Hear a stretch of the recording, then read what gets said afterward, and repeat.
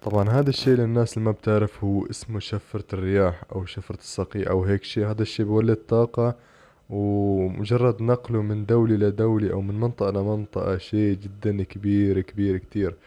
فلازم يكون معك مثل ما أنت شايف فريق من المهندسين كامل غير شوفير سائق شاحنة اللي هو فعلا لازم يكون محترف جدا مشان يخلوك تسوق هذا الحمل. ف لحسن الحظ هذا الحمل حاليا متوفر على لعبة بتنزل على تليفونك. بكل بساطة ادخل عندي على الفيديو الأخير مشان تعرف شو هي اللعبة الأسطورية اللي بتتحمل على تليفونك